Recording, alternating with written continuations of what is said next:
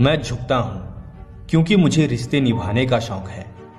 वरना गलत तो हम कल भी नहीं थे, और आज भी नहीं है। मैं अपने गम में रहता हूँ नवाबों की तरह, पराई खुशियों के पास जाना मेरी आदत नहीं। सबको हंसता ही देखना चाहता हूँ मैं, किसी को धोखे से भी रुलाना मेरी आदत नहीं। बांटना चाहता हूँ तो बस प्यार और मोहब्बत, यूँ नफरत फैलाना मेरी आदत नहीं। ज़िंदगी मिट जाए, किसी के खातिर गम नहीं कोई बदुआ दे मरने की, यूँ जीना मेरी आदत नहीं। दोस्ती होती है दिलों से चाहने पर, ज़बरदस्ती दोस्ती करना मेरी आदत नहीं। नाम छोटा है, मगर दिल बड़ा रखता हूँ। पैसों से उतना अमीर नहीं हूँ, मगर अपने यारों के गम खरीदने की हैसियत रखता हूँ, हैसियत रखता